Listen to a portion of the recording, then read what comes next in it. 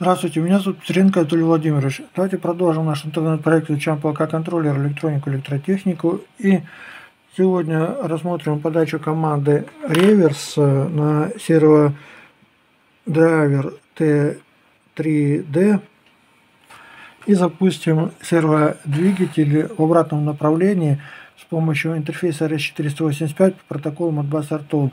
Но помню, что сетевые настройки заводские у серводрайвера, скорость передачи данных 19200, 8 бит данных, э, проверка начетности, проверка контроля четности, начет и стоповые биты 1. Э, адрес устройства в сети единица. И дальше здесь у нас идут регистры. О назначении этих регистров я рассказывал в прошлых видео. Давайте сейчас рассмотрим вот этот э, регистр. Здесь у нас э, команда Revis подается в регистр 48. В инструкции у нас э, есть параметры для настроек. И вот э, параметр 48 это как раз команда реверс. Если единица, то реверс, если 0, то нормальное вращение. Здесь у нас параметр указывается э, в десятичной системе счисления. Вот если у нас э, значение, которое может управлять реверсом, находится параметре 48, соответственно, здесь в десятичной системе счисления мы указываем адрес регистра 48. Э, также здесь я добавил регистры. Это у нас регистр 60, параметр P60 это время ускорения – и параметр P61 – это время замедления. Здесь значение в миллисекундах. Давайте запустим APC сервер. Вот в прошлых видео было видно, что у меня здесь э, возникали проблемы с связью. Эти проблемы на данный момент решены.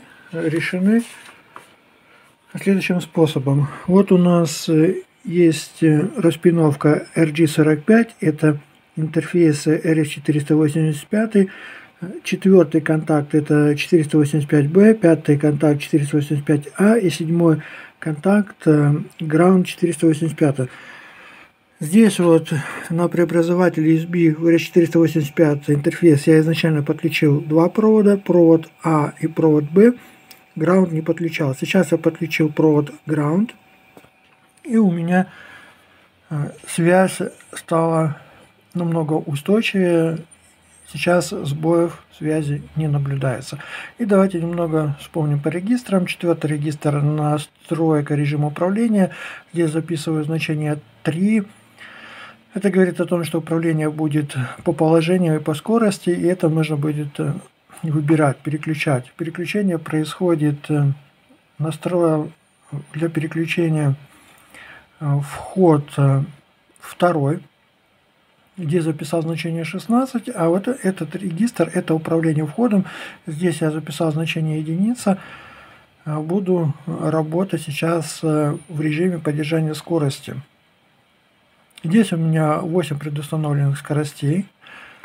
Сейчас работаю с вот этой скоростью, с первой скоростью. В 25-м регистре указываю значение единица. Это говорит о том, что уставку для значения скорости берем э, из предустановленных скоростей. То есть вот из этих регистров. Пока еще переключение не освоим. Дальше, что у нас здесь необходимо? Здесь я настроил вход, э, первый вход установил здесь единицу, это э, режим активации входа в регистре 120. Если я запишу единицу, то по протоколу Modbus RTO первый вход будет активирован. Ну и давайте попробуем запустить сервер-двигатель. Здесь у нас уставка в оборотах минуту. Здесь у нас э, отображаемое значение, то есть мы наблюдаем, какое количество оборотов в минуту делает двигатель. Ну и давайте запустим. Запускаем серводвигатель, записываем единицу в регистр 120, и здесь у нас э, э, происходит активация сервопривода. э, уставка 500 оборотов в минуту. Ну, вот здесь наблюдаем, что двигатель вращается со скоростью 500 оборотов в минуту. Даже, предположим, э, мне требуется произвести реверс, то есть запустить двигатель в обратном направлении. Э, в регистр 48 я записываю единицу, записал единицу. Да. Видим, уставка поменяла значение на минус 500. И здесь э, видим, что отображаемое значение оборотов минус 500. То есть серводвигатель поменял направление вращения. Вот сейчас э, запишу значение 0. И видим, двигатель меняет направление вращения. Сделаю, измени направление вращения немножко мягче. Вот, допустим, сделаю время э, ускорения 5 секунд. Соответственно, сюда я должен буду записать значение 5000, поскольку у нас здесь э, все задается в миллисекундах. Записал значение 5000 и теперь попробую дать команду реверс. Запишу единицу в регистр 48.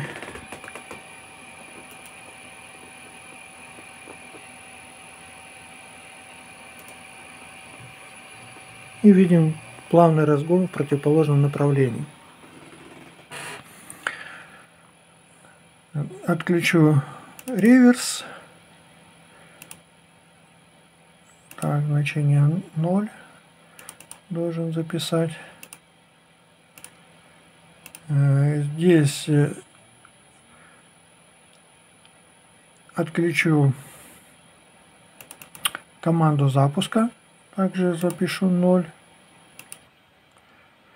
Здесь еще нужно обратить внимание на то, что обязательно должна быть активирована функция записи. Вот видим код функции 6 принудительно. Ну, как видим, наверное, уже и не обязательно. Почему? Потому что, несмотря на... Хотя в инструкции указано, что нужна функция записи 6, но Здесь я забыл указать функцию записи 6. Э, тем не менее, запись происходит. Работу требуемую работу серводвигатель выполняет. Соответственно, я тоже еще не до конца разобрался, как работать с данным серводвигателем. Разбираюсь и рассказываю об этом.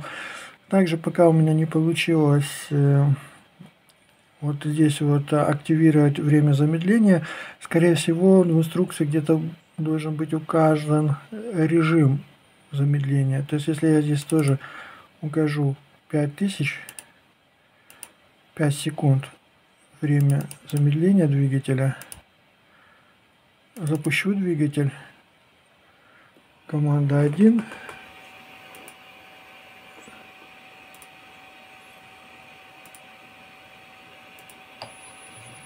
двигатель медленно разгоняется. И вот если я сейчас запишу 0 э, для остановки двигателя двигатель останавливается быстро. Соответственно вот эта вот моя функция не работает попробую поменять здесь.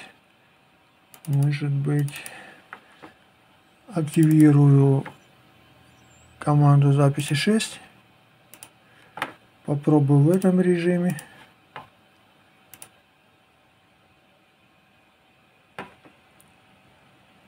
Повторно запишу значение 5000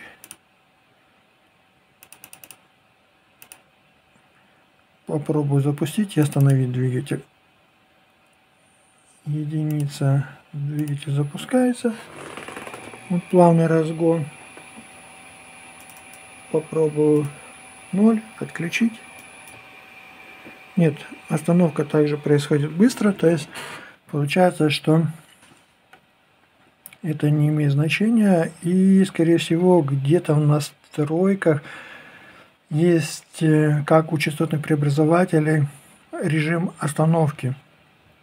То есть нужно разрешить его либо здесь, э, как у, вот, например, у частотников это бывает либо свободным выбегом, э, либо торможение постоянным током. Возможно, здесь сейчас настроено торможение.